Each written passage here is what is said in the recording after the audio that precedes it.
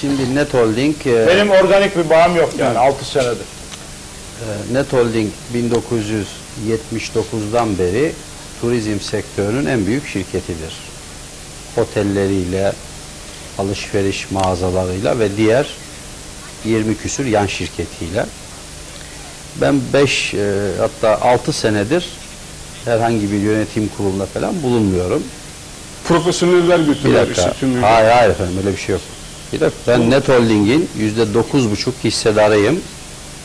Ve en büyük hissedar olarak gölgede patronum. Yani Net Holding'in herhangi bir yatırımında yöneticiler bana fikir sorarlar. Net Holding'in her şeyine kefilim. Net Holding bugün ülkeye çok büyük şeyler kazandırmış. Örnek, aksini iddia edenin alnını karışlayacağım şekilde bir şirkettir. Tabii ki çeşitli bankalardan kredi kullanmaktadır ve çok büyük bir öz varlığı vardır. Benim tahminim 300-400 milyon dolarlık öz varlığı vardır. Bu arada 15 milyon dolar civarında Halk Bankası'na borcu vardır.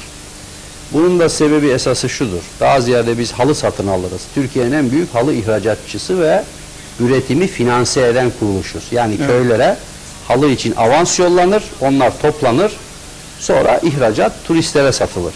Bunları biraz kısa Şimdi bir dakika, kısa hayır bunu söylemem Peki. lazım canım. Bu şimdi bu e, mesuliyetsiz bir ithamla ortaya çıkınca söylemem lazım. Bir kere şunu da söyleyeyim bir dakika. Net Holding'in A'sından Z'sine kefilim.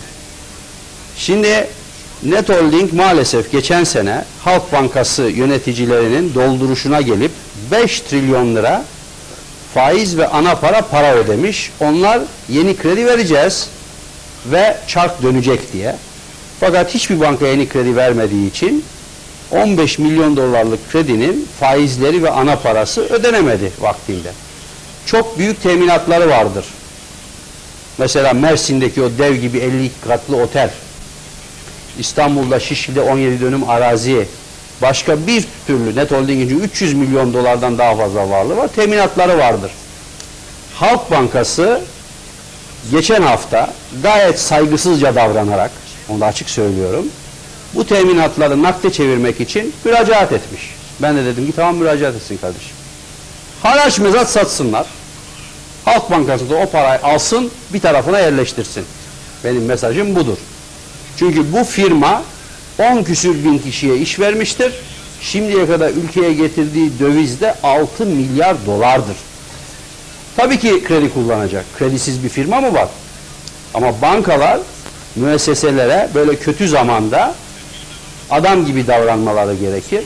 Böyle bir hareket yaptıklarında gelecekler teminatlarını nakde çevirecekler. Oradaki o saçma laflar da çok saygısızca söylenmiş laflar. O zaten Halk Bankası'nı itham ediyor. Halk Bankası aptal mı ki 20'de bir değerinde ipotek alsın? Yani siz bankacılar çok aptal mı görüyorsunuz? Gidin bakın bakalım nelere ipotek koymuşlar. Alırlar, hayrını görürler. Evet. Yani onun için şunu da net olarak Biz bu söylüyorum. programın Bu ekonomik, tümüyle bu ekonomik sistem içinde, Evet. bu ekonomik sistem içinde, bankacıların böyle davranışı içinde Net Holding'i batırabilirler.